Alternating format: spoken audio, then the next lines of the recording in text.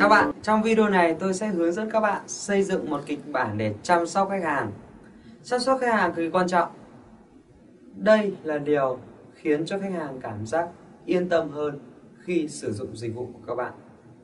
Bước thứ nhất của kịch bản chăm sóc khách hàng như sau. Thứ nhất, chào hỏi tạo sự liên kết. Kịch bản nào cũng vậy, chào hỏi tạo sự liên kết. Ok, và nếu chào hỏi tạo sự liên kết, ví dụ như khách hàng vừa mua xong cái cái laptop, laptop của chỗ bạn đi, ví dụ như vậy thì bạn, chào hỏi tạo sự liên kết như sau. Em chào anh An, hoặc là hỏi rằng, xin hỏi có phải số điện thoại anh An không ạ? Anh ơi, em là Tâm, phụ trách phụ trách nhá. Phải nhớ là phụ trách. Hôm trước tôi nói rồi, đúng không ạ? Video trước tôi nói rồi. Là phụ trách chứ đừng có nói là nhân viên.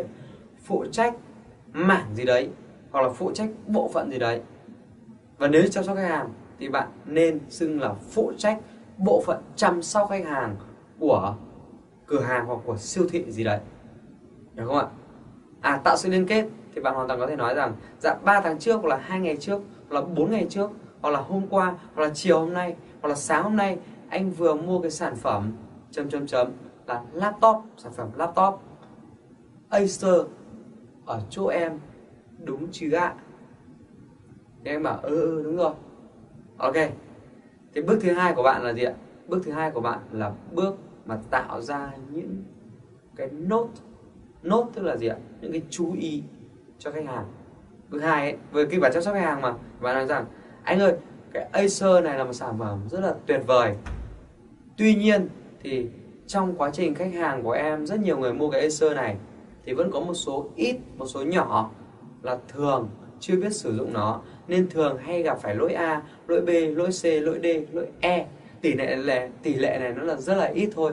Tuy nhiên thì em vẫn muốn gọi điện cho anh để nhắc anh và tư vấn giúp anh để anh không bị mắc phải có những lỗi như thế này. À, thứ nhất anh cần phải để tránh xa nước này đừng để nước ở gần. Khi anh bàn làm việc thì anh tránh xa nước ra đừng để cốc nước gần cái gần cái laptop của anh.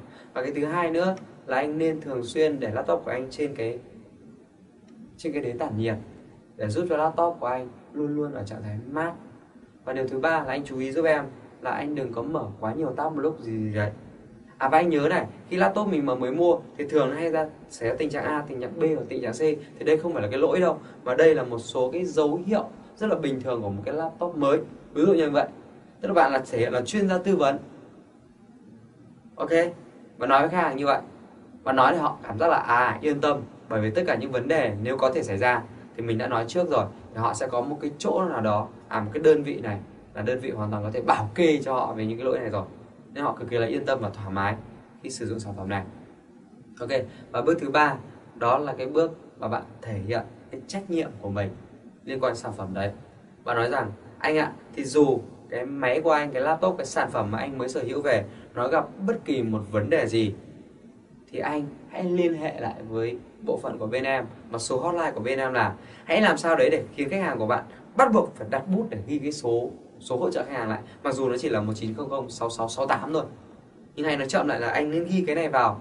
Bởi vì có rất nhiều người người ta quên, người ta không biết là như nào. Thậm chí search internet cũng khó để thấy cái số này. Nên anh lưu cho em vào như là 1900 6668 đã anh lưu vào số điện thoại và danh bạ vào của anh rồi chưa? Ok. Đó, bạn tận tụy, cứ tận tụy như vậy thôi. Thì chính xác là khách hàng sẽ cảm thấy cực kỳ yên tâm và yêu mến bạn và yêu mến cái công ty của bạn. Thậm chí yêu mến cả cái sản phẩm mà họ vừa sở hữu. Họ sẽ có cảm xúc rất là tuyệt vời. Ok, kịch bản chăm sóc khách hàng đơn giản vậy thôi. Hẹn gặp lại bạn. Bye bye, for now.